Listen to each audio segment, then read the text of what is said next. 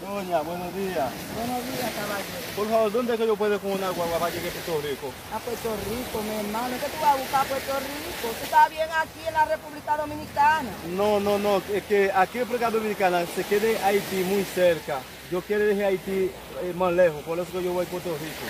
Eh, usted, si usted quiere ir a Puerto Rico, usted tiene que tomar una yola o si no, un avión para No, llegar. no, no, yo no tengo cuarto para avión.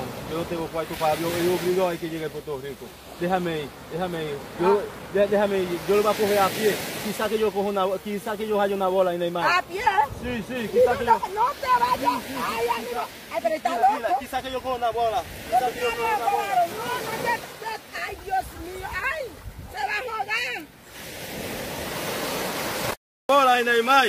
Ahora mismo yo estoy llegando a Puerto Rico. Ahora dejé. Sí, aló.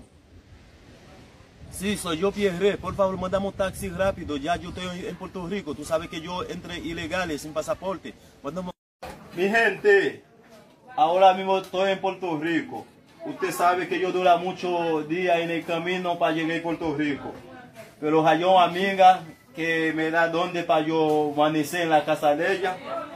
Pero ella vive sola en la casa. Pero ella me dice, para yo poder vivir en la casa, yo tengo que limpiar la casa y fregar, los platos. Pero tú sabes, en la vida uno no tiene que privar tanto. Yo acuerdo con ella. Pero creo que sí, como que ella vive sola en la casa, en, en- poco tiempo, yo puedo ser dueño de la casa también, mi gente. Gracias.